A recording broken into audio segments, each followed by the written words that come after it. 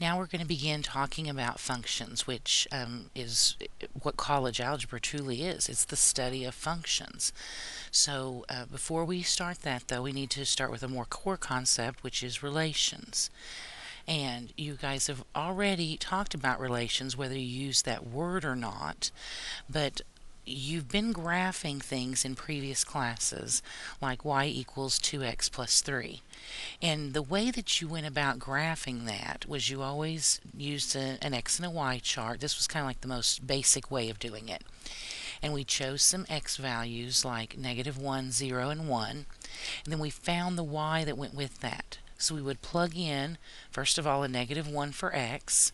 So 2 times negative 1 would be negative 2, plus 3 would be 1. And then we would use a 0. So 2 times 0 would be 0, plus 3 is 3. And then we would use a 1. So 2 times 1 is 2, plus 3 is 5. Now this would give us our points, and then we could go through and we could graph those points. So negative 1, 1 would be like here and then 0, 3 would be up here, and then 1, 5 maybe up here a little bit further. So then we could go through and we could graph that line by connecting those dots. Something like that. That's kind of a, a rough um, drawing of it. But when you did that, you were saying that these x's and y's were related to each other by this rule or by this, you know, equation. That tells us that these two things, that this is a relation. These things are related to each other. Now, we've used sets like x's and y's before when we did our graphing. Now, two sets, x's and y's, they can be related to each other. Another way of saying that is to say that x corresponds to y. They have a correspondence.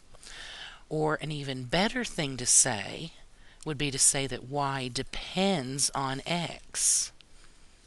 Now, this is very important because this will come up later, and so it's really important that you understand this. The x is called the independent variable, and y is called the dependent variable because y depends on what x is.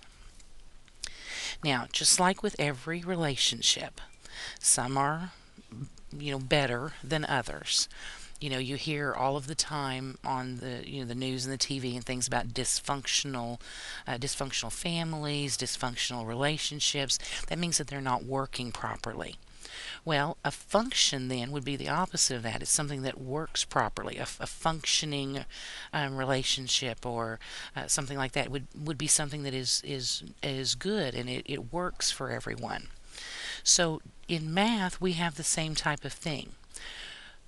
There are lots and lots of things that are related to each other by some rule, by some equation, but there are very few of those that are special, and those special ones we actually call functions. Now, the formal definition for a function is this.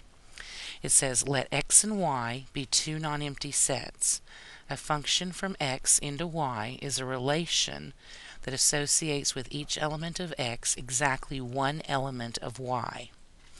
Now I realize that's not very clear of a definition, so a better way to put it would be to say for every x value there can be only one y value.